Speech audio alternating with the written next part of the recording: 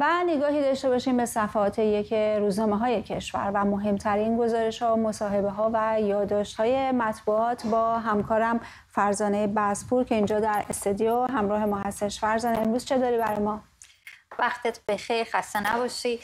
خب اونچه که من امروز روزنامه ها نگاه می کردم یادداشت ها و گزارش های متعددی توجه هم رو جلب کرد. به ویژه یادداشتی در روزنامه اعتماد چون موضوع و مطالبه رفراندوم داره تبدیل میشه به یک مطالبه حد اکثری و فراگیر در جامعه. به خاطر همین روز عباس عبدی تحلیلگر و فعال سیاسی که خب سبقه روزنامه نگاری هم داره امروز در یادداشتی در روزنامه اعتماد خطاب به این طرفداران نظام و رسانه های حکومتی که در این روزهای اخیر با یادداشت های مدام می‌خواستن حرف های خامنه ای در موضوع رفراندوم رو توجیه و تفسیر کنن گفته مخالفتتون با موضوع رفراندوم خیلی کار عجیبی بوده. چون رفراندوم اصل قانون اساسیه و مستاق رجوع به آراء مردم در واقع یکی از اصول انقلاب و آرمانهاش بوده. و الان این مخالفت کردن یا ممنوع کردن رفراندوم نمی‌تونه این مطالبه رو در جامعه که از بین ببره. اتفاقا برعکس اون رو تشدید می‌کنه جامعه رو در واقع هیجانش رو برای دنبال کردن این مطالبه بیشتر می‌کنه. به حکومت هشدار داده آقای عبدی که مخالفت با رفراندوم عوارض سنگینی براش داره. چون یک باره چشم باز می‌کنه می‌بینه مردم از همین رفراندوم هم عبور کردن و به قول آقای عبدی میلیون ها صفر در پشت یک فایده ای نداره. اما روزنامه دیگری که ببینیم روزنامه هممیهن هست. در روزهای اخیر بارها شنیده بودیم که مرکز آمار نرخ تورم رو اعلام نمی‌کنه. الان در گزارش هممیهن آمده که نه تنها مرکز آمار آمار و اطلاعات رو ارائه نکرده. معذرت می‌خوام نرخ تورم درستی رو نرخ تورم اسفند ماه رو درسته؟ آره نرخ تورم اسفند ماه رو اعلام نکرده. البته مثل اینکه تصویر روزنامه رو نداریم اما فقط من بهش اشاره کنم ازش میگذرم. اینکه به حال نرخ تورم اسفند ماه رو که اعلام نکردی یک ماه و نیم هم از تایم گذشته و الان دولت تلاش می‌کنه که شاخص سازی کنه آمار سازی کنه که نرخ تورم رو پایین جلوه بده. اما از روزنامه دیگر روزنامه جهان صنعت هست سرمقاله ای رو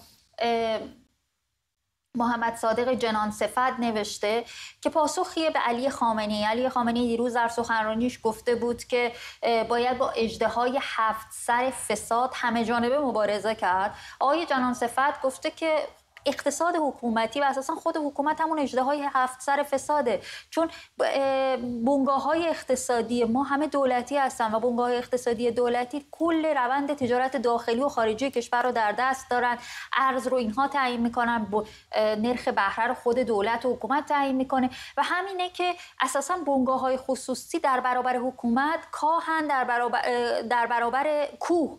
این هست که سر اصلی فساد رو بایستی کوبید و نابود کرد و اینکه خامنه ارجاع میده برای ریشهکنی فساد به دولت و مجلس به نظر, نمی... به نظر میاد که راه درازی برای ریشهکن کردن فساد وجود داره یا زدن سر اجدها اما توسعه ایرانی گزارشی امروز کار کرده که با باور من تعنیس به دولت و آنچه که در ارتباط با این سفر رئیس جمهور عراق به ایران به ایران مطرح است.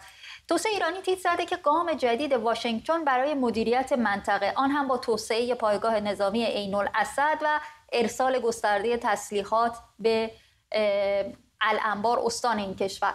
خب ما می‌دونیم که وقتی اینها پایگاه عین الاسد رو حمله موشکی بهش کردن بعدش مدعی شدن که این یک سیلی بود و سیلی محکمتر با اخراج آمریکا از عراق و بعد منطقه اتفاق میفته. الان در سفری که رئیس جمهور عراق به ایران داشته نه تنها آمریکایی ها از منطقه و عراق خارج نشدن بلکه همون پایگاه نظامی که اینها مورد حمله قرار دادن توسعه و تجهیز نظامی کردن و به گفته روزنامه در استان الانبار نیروهای آمریکایی آزادانه اقدام به گشت زنی می‌کنند اما یادداشتی هم از روزنامه شرق ببینیم که از احسان هوشمند روزنامه نگار که راجع به ناهماهنگی و خود تخریبی نظام صحبت کرده و اینکه هر وقت راجع به موضوعات مختلف سیاسی اجتماعی ما بحرانی باهاش مواجه میشیم حکومت دور یک دوگانگی در رفتارش داره. مثلا در همین بحث حجاب ما داریم می‌بینیم که فرمانده پلیس مدعیه که برای برخورد با بیهجابی همه دوربین های سطح شهر رو تجهیز کردن. این دوربین ها هیچ خطایی نمی‌کنن. یه همچین ادعاهایی رو دارن دیگه. آقای هوشمند پرسیده پس چرا؟ سوالیه که در واقع خیلی از مردم در مطرح کردن.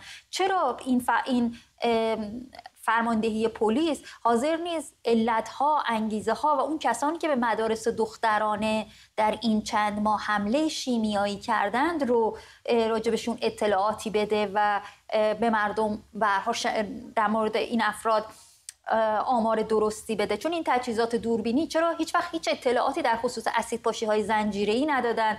چرا ریشه ها و ابعاد قطع های محفلی در کرمان رو فاش نکردن؟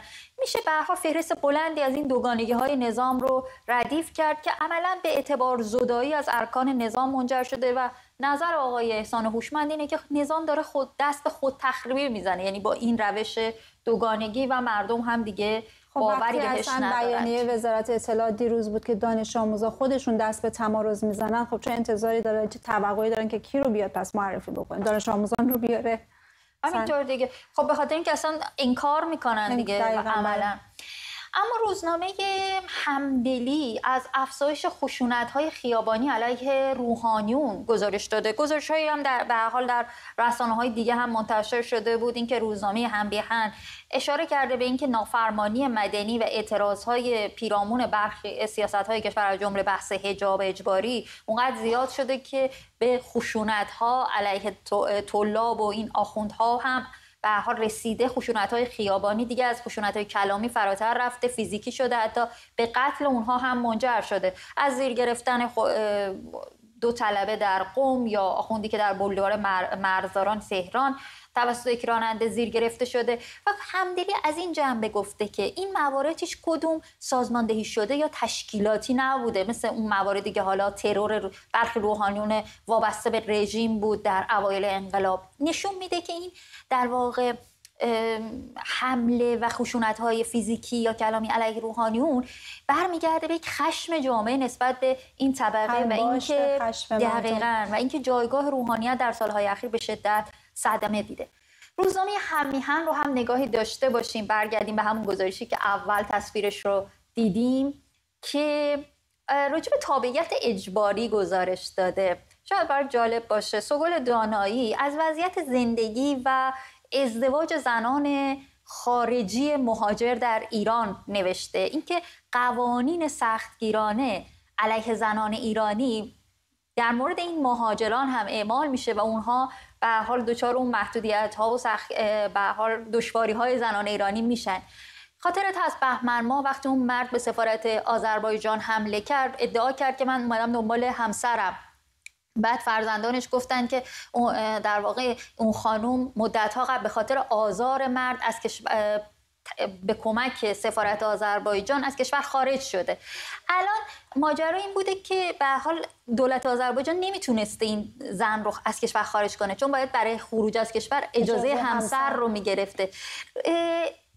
بنابراین زنان خارجی وقتی با مرد ایرانی ازدواج می‌کنن اولا تابعیتشون رو از دست میدن. بل اجبار به تابعیت ایرانی در میان سلب تابعیت میشن. و بعد تمام اون قوانین سختگیرانه ضد انسانی که علیه زنان ایرانی هست مثل اینکه اجازه خروج از کشور بایستی مرد بده یا در صورت طلاق نمی‌تونن فرزندانشون از کشور خارج کنن. همه اینها در مورد اینها هم اعمال میشه و این هست که راجع به این خیلی از اونها اصلا آگاهی هم ندارن نسبت به این قوانین. نمی‌دونن که این قوانین وجود داره در کشور. همینطوره. یک گزارش هم دست آخر ببینیم که مصاحبه با یک کارتونیست آقای بزرگمهر حسین پور که اگر امکانش باشه همزمان با هاش برخی از کارتون های آقای حسین پور هم ببینیم چون خیلی فرصت نداریم. آقای حسین پور به حال روایتگر اعتراضات مردم بودن و الان در مصاحبه با روزنامه هم میهن گفتن که سربازی هستند که طرحهاشون مثل اسلحه اونهاست و برای در واقع سعی می‌کنن اون خط قرمزهای رژیم رو بله. نادیده بگیرند و رنجهای مردم رو بازگو کنند